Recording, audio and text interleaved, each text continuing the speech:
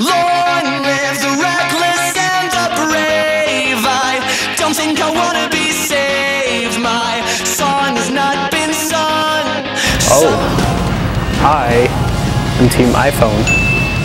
Team iPhone. Yeah, iPhones are way better than Androids. Team iPhone. Now, Yes. Android. What do you think? Android. I don't always use a cell phone, but when I do, I use an iPhone. Team iPhone that my dad still pays for. And no, I'm not embarrassed by that. What part of Android don't you understand?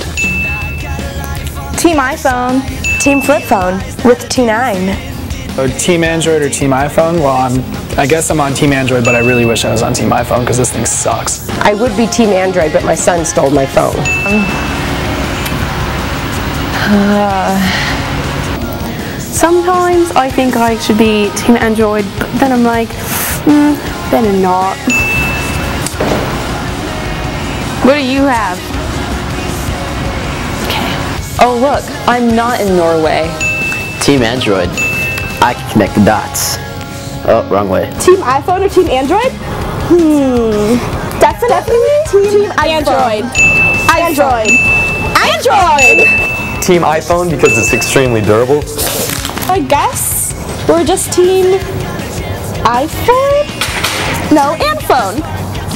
iPhone and phone. Uh, actually, Team Android.